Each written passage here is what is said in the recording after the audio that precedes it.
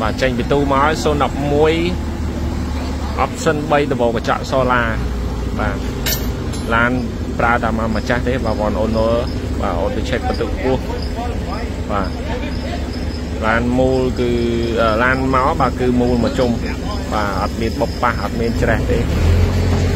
បាទទៀតបាទណែនក្រោយនេះទាំងអត់បាទ អត់ច្រេះទេសភាពឡានគឺមូលមកជុំបាទ one owner មកទៅ check បន្ទុកកប់បាទសម្រាប់បងបងដែលកំពុងតែស្វែងរកប្រភេទ Pro 010ដបកញ្ចក់សូឡាបងបងអាចជួយមកមើលឡានប្រភេទនេះបានតនេះជូនតម្លៃពិសេសជូនបងបងទាំងអស់គ្នាបាទនេះ011បងបងណាបាទមិនមែន010ទេ011ខុសគុណ010មកចូលចិត្ត1000បងណា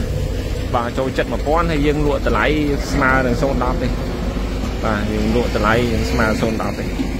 បាទអត់ច្រេះទេបងបងមកខ្មុំស៊ីតបាទអត់ច្រេះបាទខ្ចៅខ្យងអីបាទយើងមើលតាមរូបឃើញស្អាតបាទជាបើបាទដបូលសូឡាបាយទេ